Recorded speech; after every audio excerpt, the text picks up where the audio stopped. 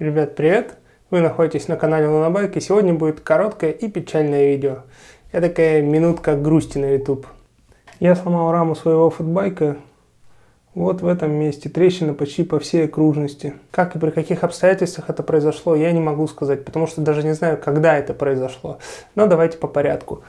Рама у меня Сарма Фока, первая версия, размер L, э, в использовании почти год, пробег 1725 километров.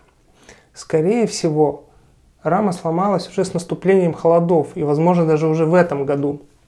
Э, потому что летом я использую дропер вместо обычного подсидела. И когда устанавливал с наступлением холодов обычный подсидел, я осматривал это место, никаких трещин не было.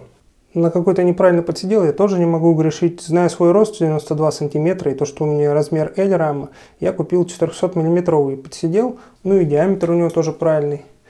Правда, у меня, конечно, штангенциркуль такой бутафорский, но тем не менее.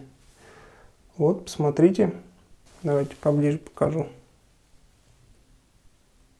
Заметил я трещину случайно. Э, когда я переставлял велик для съемок, я испачкался в герметике, которым смазан подсидельный штырь. Ну, думал, может быть, как-то палец попал в эту вот щель.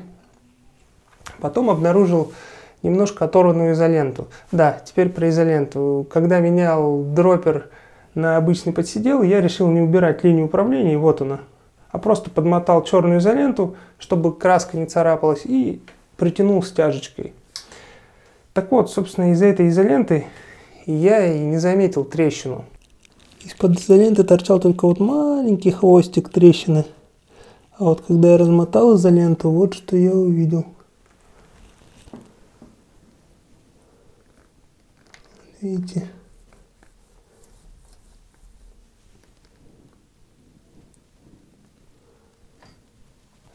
Здесь она тоже продолжается.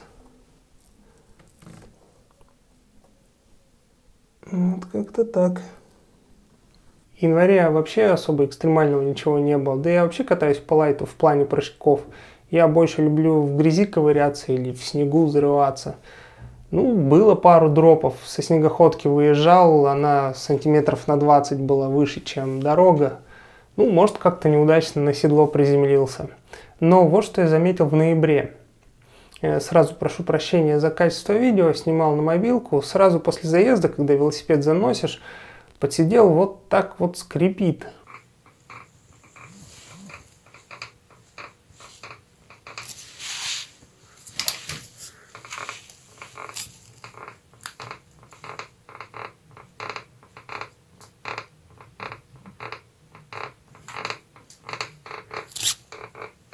А на утро такого эффекта нет.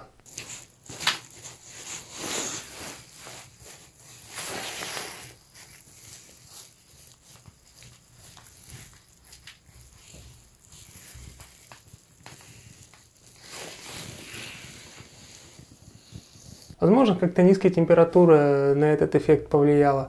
Потому что в ноябре в Покачах были морозы, но тогда я не придал этому значения.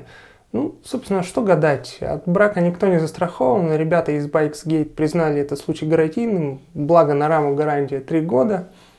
Ну и я, собственно, никак не разочарован в раме. Я, когда получу новую раму, буду также с удовольствием кататься и получать удовольствие. Ну, сейчас буду разбирать велосипед. Вам это показывать не буду, потому что есть целый плейлист, где я собирал этот велик. Справа под буковкой «И» вы найдете ссылку на него.